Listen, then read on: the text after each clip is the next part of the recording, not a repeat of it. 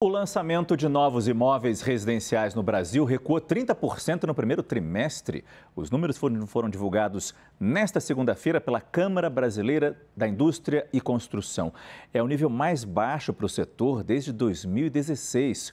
Fernando Nakagó traz esses detalhes para a gente. Preocupante, né, Naka? Muito preocupantes, Márcio. Os números foram apresentados hoje em tom de sinal quase vermelho na história para a indústria da construção.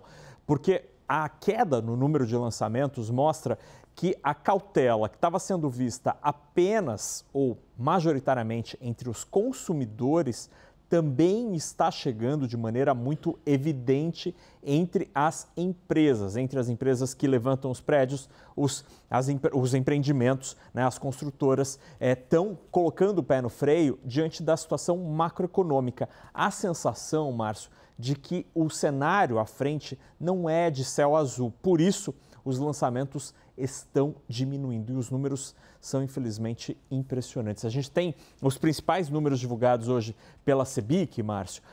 Então, no primeiro trimestre deste ano, foram lançados 48.500 unidades residenciais à venda no mercado residencial. Essa é uma queda de 30% na comparação com um ano antes.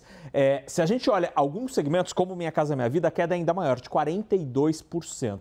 Aqui a gente tem a queda por região e na região norte dois terços, uma queda de dois terços no trimestre na região norte, que é gigantesca, Marcos. Tem Amazonas, Pará, Tocantins, uma série de estados, apenas 399 unidades, 399 apartamentos ou casas foram colocados à venda em lançamentos.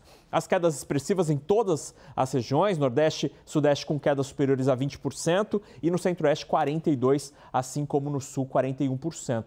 Na próxima tela a gente tem o diagnóstico do pessoal da CEBIC para esse problema. Primeiro, falta de recursos para o financiamento do consumidor.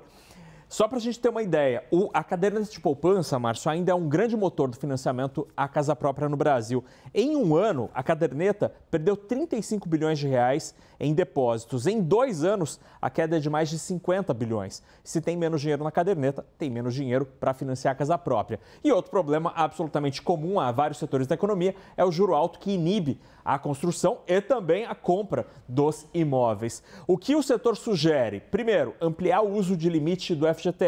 Atualmente, imóveis de até um milhão e meio de reais podem ser financiados com o uso do fundo de garantia. Sugerem que haja uma elevação desses valores principalmente é, para grandes cidades e também agora cidades médias, onde já está ficando difícil encontrar imóvel nessa faixa. Além disso, sugerem alterar os subsídios do Minha Casa Minha Vida e a redução do juro básico da economia, o que beneficiaria todo mundo. Isso é bem preocupante, Márcio, porque o número de lançamentos caiu 30% no trimestre e as vendas caíram também, mais menos, 10%.